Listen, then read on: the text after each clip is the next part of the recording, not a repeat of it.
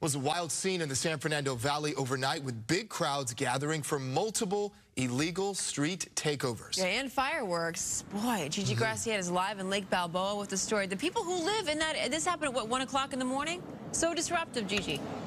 It started Right. It started around 8 o'clock last night and it went on well into the early morning hours. And as you mentioned, a lot of folks were woken up by the noise.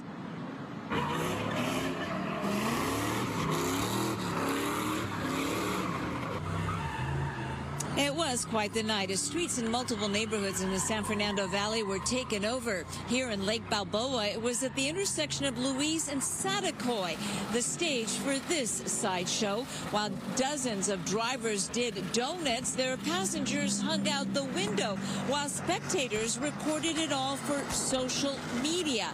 The same scene playing out in Chatsworth at Nordhoff and Lurline, and on and on it went. Granada Hills, Sylmar, North Hollywood, Van Nuys. The drivers and their fans moving quickly between the noise from the screeching tires, the cheering, and the police sirens. Neighbors say it was a sleepless night, and they've had enough. It's sad because this is our neighborhood. This is our country. This is what's happening. Where are these parents? Why? I mean, I know they're not all minors. A lot of them are adults, but where are their ethics? What's happening? You know, we live here. This is what we have to look look at every single day. A Little chipmunk, chipmunk over there.